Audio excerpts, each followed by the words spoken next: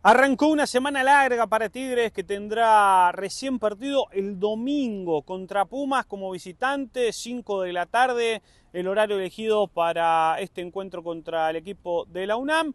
Y Belko Paunovic trabajó en el estadio universitario, práctica vespertina. Este lunes eh, arrancó 5 y media más o menos.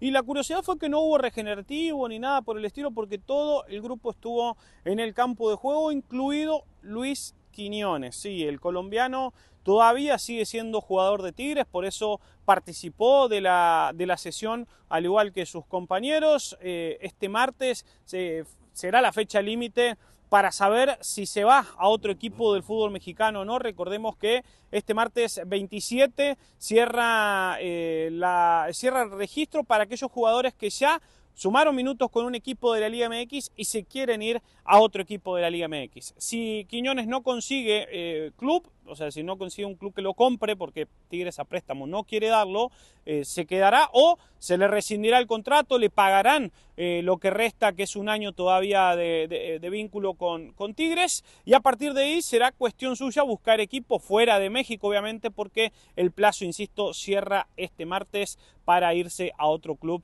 del fútbol mexicano. Mientras tanto, insisto, participó de la práctica al igual que sus compañeros. Joaquín, quien salió con una molestia eh, el partido, en el partido del sábado contra Chivas, también lo hizo con normalidad, así que cuenta con plantel completo en este arranque de semana Belko Paunovic, que insisto, será muy larga porque Tigres recién jugará este domingo, así que tendrá mucho, mucho tiempo para trabajar varias cuestiones el cuerpo técnico de Tigres. Los invito a estar pendientes a lo largo de toda la semana y sobre todo con el tema Quiñones durante este lunes, durante este martes, durante toda la semana a través de las redes sociales de Once Diario MX y OnceDiario.com.